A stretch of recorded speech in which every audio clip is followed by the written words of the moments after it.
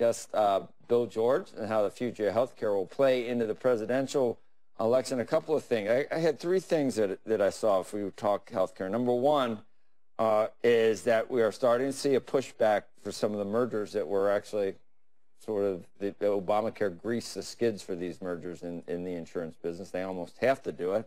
I love this piece in Andrew's paper here. Uh, what are hospital's costs? A Utah system is trying to learn. They have no idea. It's a question that's never been asked. They know what insurance companies pay them, but they have no idea of what their what their costs actually and fact, are. The staff everything. laughed when she was asking the questions. Yeah, like The really, you're CEO was asking us the what things are. So the combination, uh, uh, we haven't fixed healthcare either, and, Right. and costs are starting to accelerate again. The the uh, healthcare inflation again. So you were with Medtronic; those things were expensive. And now this new, uh, that's the other thing, that the New York Times has an editorial on these new cholesterol drugs. Those are going to be expensive. They'll- They could break the bank if everyone that needs them gets them. What do we do? Joe, we're heading for a day of reckoning in healthcare costs. It's not going to happen in this administration. They'll push it out into the next administration. Somebody's going to have to, to face the music. We made a lot of concessions to the uh, health plans.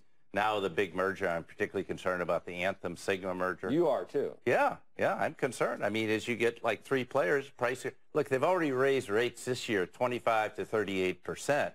So you're, that's going to play out. I see it sitting on the board of Mayo. The new drug, the new round of pharma drugs are incredibly valuable, but the prices, hundred thousand dollars for a drug. if you add, if you don't increase the doctors or the, or if you don't increase the infrastructure for healthcare and you add 50 million new people, what do you expect insurance companies to do? And, and a lot of, of young people don't sign up because, and it, that hasn't worked because they're, they're healthy.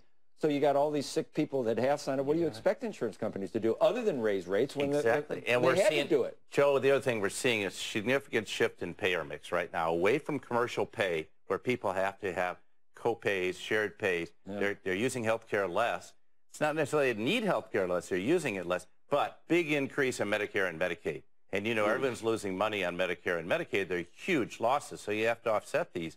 This is a big concern. And I think you're heading, like I say, for a, a, a reckoning coming. and you're not going to be able to, I think the government, look, every time you've run into pressure at the government level, they've made concessions to consumers, and you got to pay for that. So somehow this is all going to accumulate, and we're going to have to face that, and it's going to be a significant increase. Write a book on that. you? And, and solve worries that for us for, for your next book. We gotta. We got to deal with the basic health health issues.